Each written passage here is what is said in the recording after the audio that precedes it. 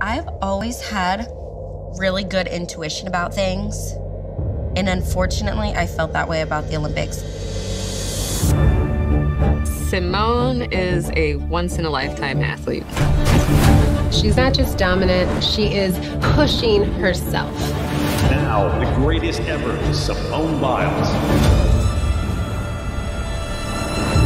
Wow. Never in my life have I seen her do that. Never. So, having these mental blocks in the gym recently.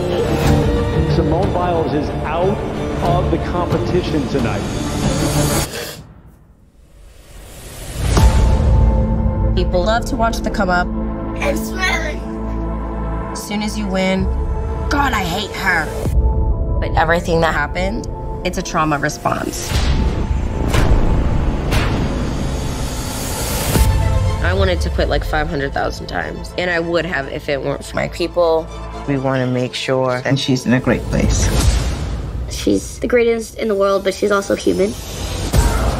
She bounced back and she really opened my eyes. I knew it would be a long journey, but to me, it wasn't done. Sometimes you have to take that power back. It's not all about gym. Like, life moves on.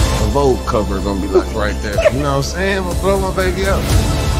She came back to the gym, basically stay in shape. I'm going for another Olympic run. I know that she's expected to win all the gold medals, but even the fact she's trying to come back is really amazing. I never thought I'd be at this phase still doing it. I feel very grateful. Get to write my own ending.